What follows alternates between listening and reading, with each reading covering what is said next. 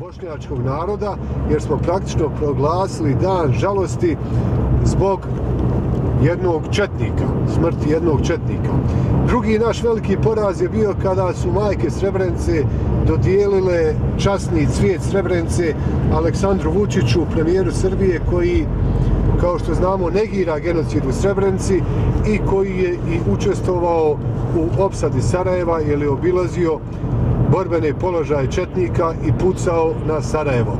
Dakle, to su ta naša dva velika poraza i naravno imali smo i ovaj događaj u Rajlovcu, to ubistvo koje je odmah, e, ubistvo dvojice pripadnika oružanih snaga Bosne i Hercegovine, koje je odmah prozvano terorizmom, da bismo evo sada saznavali da se radi o nekim drugim motivima, ali o tome sigurnosne službe neće kazati ništa, jer se sigurnosne službe u Bosni i Hercegovini bave izmišljanjem takozvanog islamskog terorizma, proganjanjem bošnjaka. Imali smo protekle hefte još jedno hapšenje 11 bošnjaka je uhapšeno pod optužbom da su htjeli da pobiju navodno 100 ljudi u Sarajevu za novu godinu.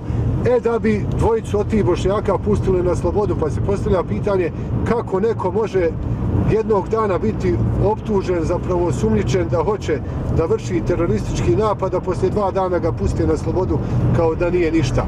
Pa se postavlja i dalje pitanje da li je to u Bosni i Hercegovini državna policija, ali je to veliko srpska policija.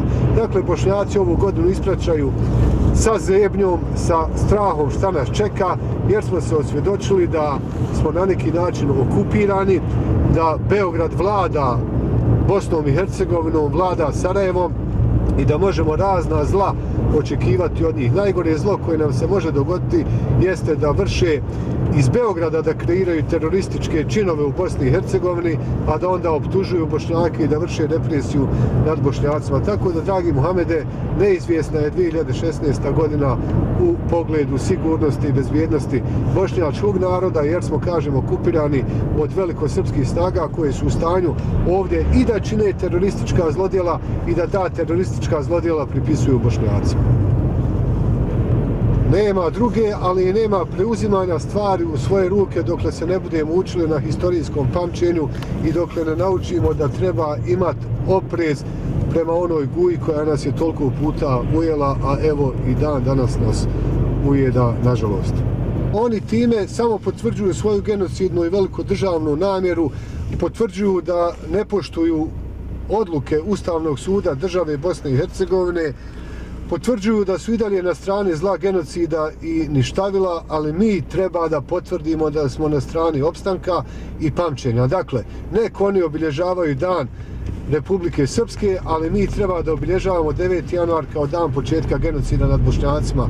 Dakle, poziv svim patriotima da se 9. januara sjetimo da je tada počeo posljednji, odnosno posljednja etapa genocida nad bošnjacima, jer posle ove etape ili ćemo preživjeti ili nas neće biti.